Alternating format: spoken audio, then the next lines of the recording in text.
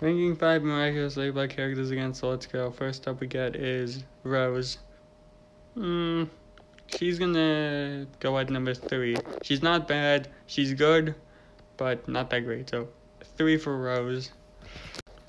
Okay, well I gotta make this video popular because four of my videos got made for kids because YouTube's crap as always. Anyways, next is Shadow Moth.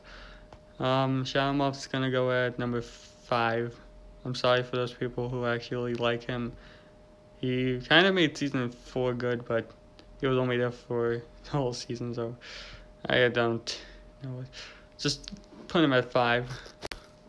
Okay, we have one, two, and four left.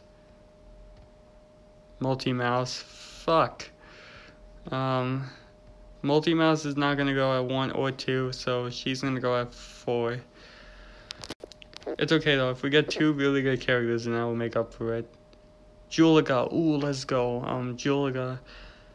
Do I put her at one or do I put her at two? Hmm. You know what? I'm gonna play it safe and I'm gonna put her at one. She's actually one of my favorite characters from the show. So yeah, Juleka, you'll take number one. Okay.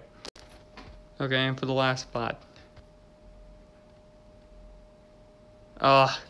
Thank God, I played it safe. You go at number two. She would, however, if I did know that Chloe was gonna come before she'll go, then I would have put her at, I would put her actually at number four, but she'll go at number two. But this is still a good list. What do we think down below?